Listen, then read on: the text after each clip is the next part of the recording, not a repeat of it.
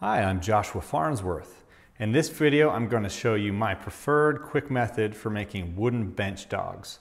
I'll also show you how I bore holes in my workbench tops for bench dogs and also for holdfasts.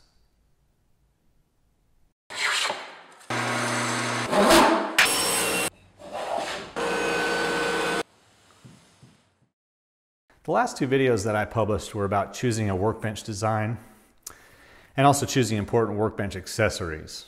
If you missed them, uh, you can see below this video for links to those videos. Uh, in the workbench accessories video, I showed a sped up process of how I make bench dogs and also how I bore bench dog holes and hold fast holes in my school's workbenches here. But I've been asked to give some more details on my process, so that's what I'll do in this video.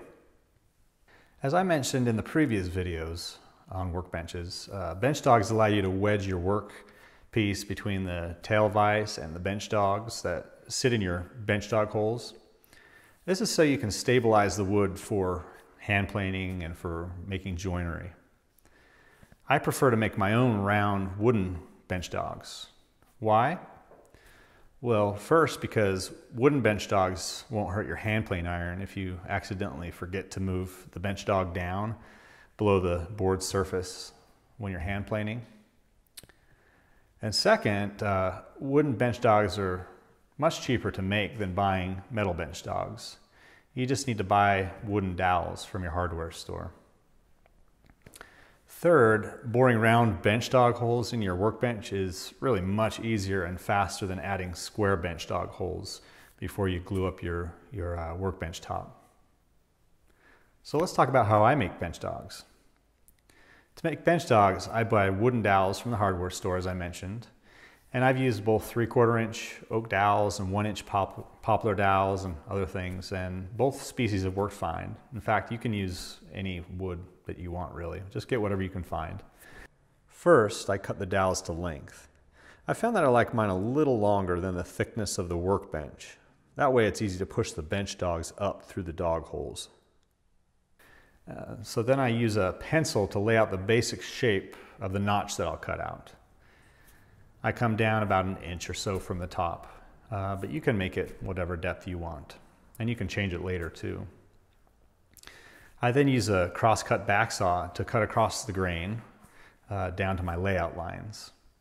A fine-tooth dovetail saw will also work. I next use a wide chisel to cut the face of the notch. I nibble off about half the wood at first uh, with a very light tap of the mallet on the chisel. But just be careful here because too much force will actually split the dowel super easy. Of course, I speak from experience on this, I'll, I'll admit. then I work back carefully to the line that I drew with the chisel. And if your, your grain is straight, it should split pretty nicely. Then I just use a chisel to pare back to the line and uh, I create a flat and smooth surface with it. Of course, there's no reason to spend too much time on this because it's just a bench dog really, and it's not a piece of furniture. And I've got a couple of uh, custom bench dog tricks that I've learned from my friend Will Myers when we made the video together on building the Moravian workbench. The first trick is to add a triangular notch on the other end of the bench dog for the times when I have an odd shaped piece of wood that I need to hold down on the workbench. To do this, I do the same thing as above, uh, but then I lay out a triangle on top. Then I use a dovetail saw to cut at an angle along the top lines and the sides of the dowel at the same time. Then I use a small chisel uh, to remove the waste and clean up the dowel. The second trick is to prevent the bench dog from falling through the dog hole. I bore a little hole on the side of the bench dog and I epoxy a small bullet cabinet door catch inside the hole. I couldn't find these brass bullet catches in any of the stores where I live, um, but I eventually tracked them down online and I've shared a link to them in my Workbench Guide article. I'll share a link to that below. Now I'll move on to making bench dog holes and holdfast holes. To make a lot of consistently sized bench dog holes, I actually set up a plunge router with an adjustable fence. The adjustable fence allows me to add a bench dog hole at perfectly consistent distances from the edge of the workbench. It also uh, stabilizes the plunge router. I plunge as deep as I can with a 3 quarter inch or a 1 inch spiral upcut bit. This setup makes it super easy to just move down the bench as I plunge. The only marks I really have to make are the spacing between the bench dogs. Then I finish boring the hole with a spade bit. I prefer to use a powerful corded drill so I don't burn up the motor on my battery powered drill, especially on thicker workbench tops. Also, you can certainly do this with a brace and bit, uh, but just be prepared for it to take a lot longer and maybe have holes that aren't quite as tight due to the movement while you're boring the holes. I watch carefully for the tip of the spade bit or the lead screw in the case of an auger bit to come through the bottom of the workbench. And actually having a friend or a child watch for you is an even better idea. As soon as the tip starts coming through the workbench top, I stop boring the hole immediately. Then after I've gotten all the bench dog holes to this point, I flip the workbench top over and I start boring back through the little hole. This prevents ugly blowout and gives a nice clean bench dog hole. And holdfast holes are made in just about the same way, except I usually use a slightly larger spade bit when coming back through the bottom. For example, 7 8 inch when I'm doing 3 quarter inch holes. And I bore up an inch or two, and the larger hole helps holdfast have more room to wedge itself.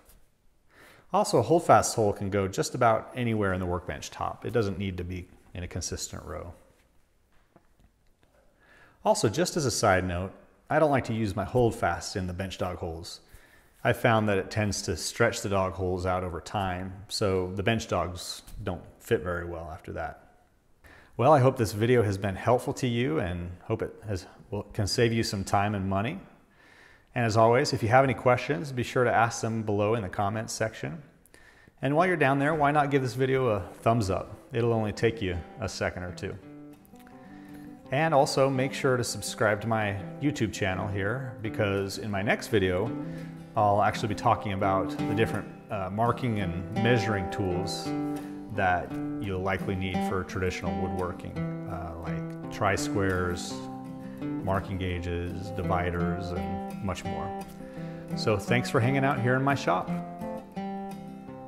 This is Joshua Farnsworth. If you're interested in woodworking with a mix of hand tools and power tools, visit my website at woodandshop.com, where you can find a bunch of free woodworking lessons, workshop tours of amazing woodworkers, and our very popular tool buying guides. You can ask questions and share your projects with thousands of woodworkers on my forum. Enjoy!